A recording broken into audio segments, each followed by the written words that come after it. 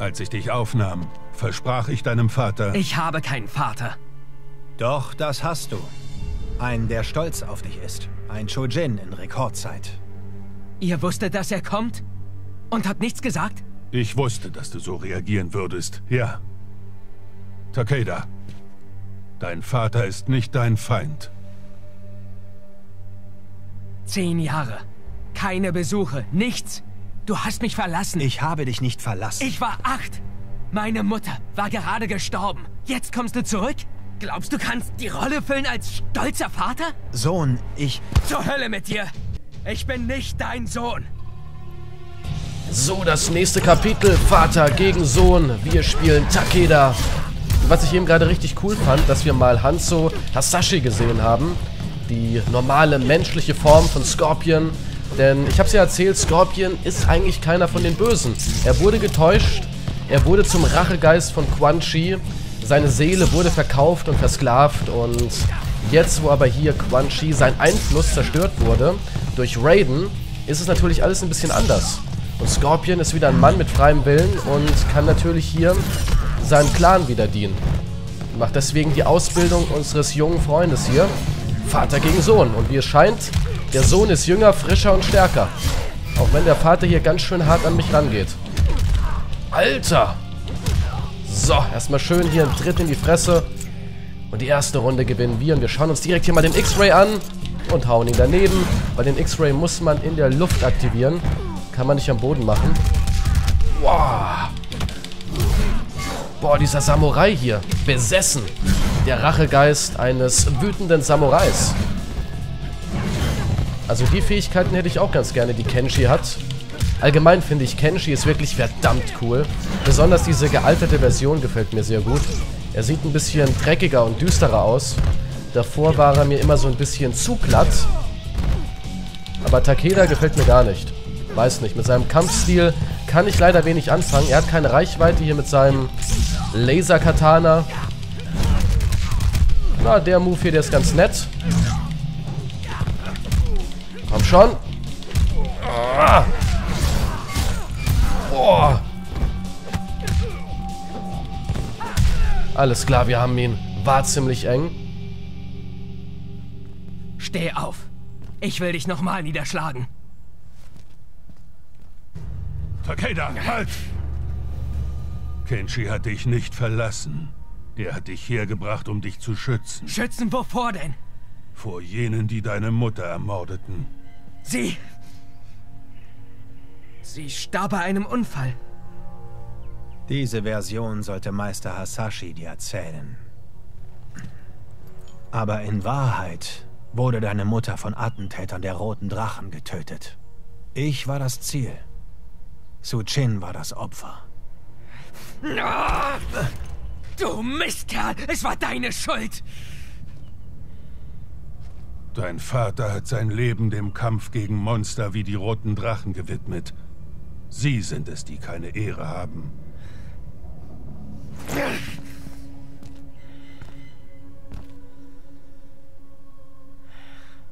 Du hättest die Wahrheit nicht verbergen sollen. Du hättest die Mörder deiner Mutter unvorbereitet aufgesucht. Ich konnte das nicht riskieren. Meister Hasashi hat dein Können im Kampf perfektioniert. Es ist Zeit, dein Training abzuschließen. Wie, wie hast du das gemacht? Wir sind Telepathen. Eine Familiengabe. Ich kann Gedanken lesen? Wir werden den vollen Umfang deiner Fähigkeit herausfinden. Und dann werden wir die roten Drachen jagen. Gemeinsam.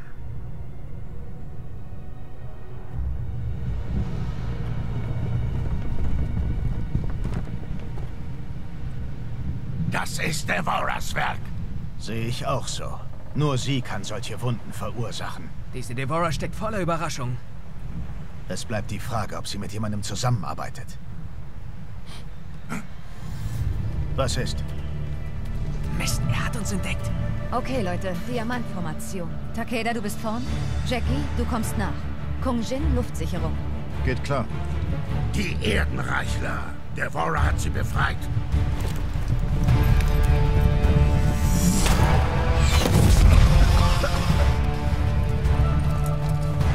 Katagasu!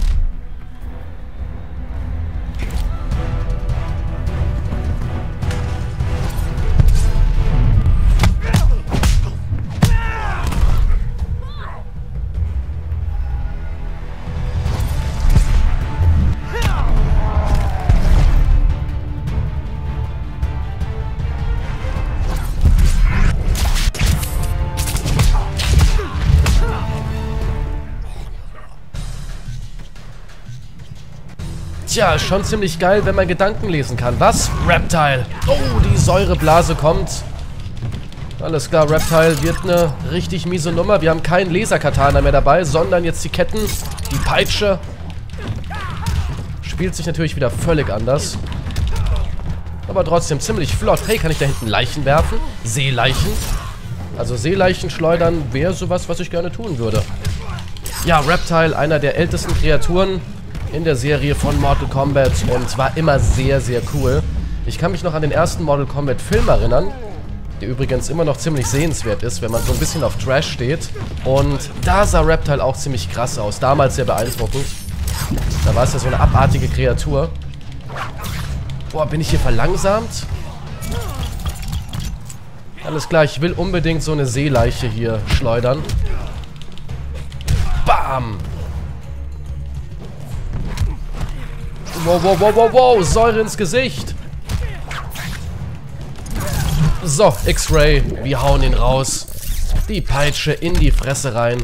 Deep Throat. Mit Face Break. Wow, das Zusehen tat schon weh. Yep, das tat's wirklich. Mieser Spruch. Mieser Spruch, mein Freund. Komm, einmal hier so eine Leiche werfen. Was haben wir hier drüben? Irgendwas, mit dem wir interagieren können? Na, wir können hier die Nummer machen. Ah, hier drüben war eine. Ey, die Säure hier trifft mich auch wirklich immer wieder. Wow, wow, wow, wow, wow. Shit. Yep, wir werden langsamer hier durch. Eben gerade beim Sprung hat man es schön gesehen. Ein Schlag in die Eier und erledigt. Reptile, kein Problem. Einer weniger, noch zwei.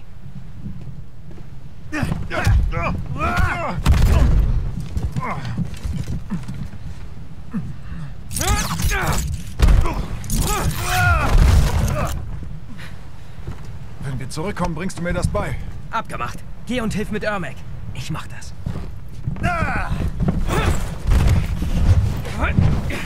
Du glaubst, du schaffst mich allein? Du bist entweder mutig oder ein Narr. Oder ich bin beides, Aaron. Vielleicht bin ich beides. Alles klar, Aaron Black scheint eine härtere Nummer zu sein. Reptile hatte keine Chance gegen uns. Mal sehen, was Aaron Black so drauf hat.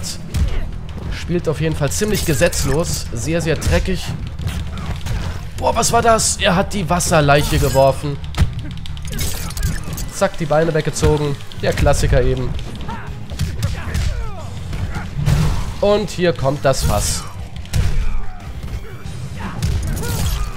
Komm schon, der X-Ray ging natürlich durch. Schön hier die Peitsche gewürgt, den Rücken gebrochen, das Gesicht zertrümmert. Runde 1 gewinnen wir. Also ich muss sagen, die Peitsche gefällt mir besser als das Katana. Ist wirklich irgendwie geiler, das Ding. Hat mehr Reichweite und so. Wow, wow, wow, wow, wow. Cooler Move. Sehr, sehr cooler Move. Machen wir mal den hier. Oh, das tat weh.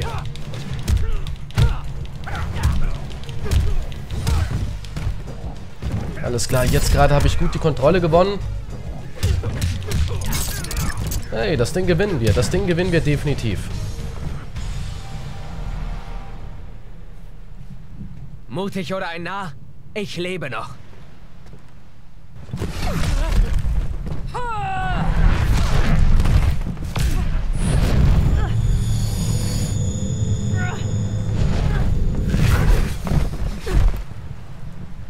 Sehen, was ich hier lernen kann. So viele Seelen. Alle gefangen. Wir existieren, um zu dienen, gebunden durch die Magie Shao Kahns. Das Chaos. Die Stimmen. Wir sind viele, du nur einer. Deine Fähigkeiten verlassen gegen unsere. Ermac, der finstere Geist, das Seelengefäß. Eine sehr unheimliche und mystische Kreatur. Damals ein Diener von Shao Kahn. Jetzt steht der Kotel unter seinen Diensten. Und ja, Ermac ist extrem beliebt, habe ich gesehen. Ich habe ja in der ersten Folge gefragt, wer ist euer Lieblingscharakter? Und sehr viele haben gesagt Ermac. War schon damals so in meinem Let's Play, als ich Teil 9 gemacht habe. Da waren auch sehr viele Ermac-Fan. Bin ich ein bisschen überrascht, denn Ermac ist jetzt nicht unbedingt der bekannteste von allen. Klar, er ist cool, gefällt mir auch sehr gut. Aber hätte ich echt nicht mit gerechnet, dass so viele Ermac mögen. Boah, Ermac ist aber auch wirklich stark. Stellt sich hier gerade ziemlich gut an. Aber jetzt bin ich dran und einmal schön hier der Armbruch. Runde 1 geht an uns. X-Ray direkt hier zu Beginn. Ich mag den Sound, wenn die Peitsche in den Mund geworfen wird und hinten am Schädel wieder rauskommt. Bam. Ermac, lass es stecken. So, die Beine weggezogen. Da hat er keine Chance. Da hat er keine Chance. Uppercut.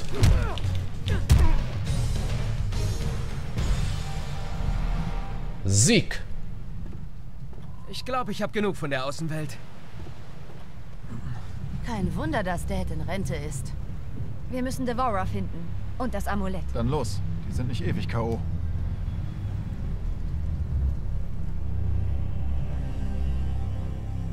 Devora und die Erdenreichler?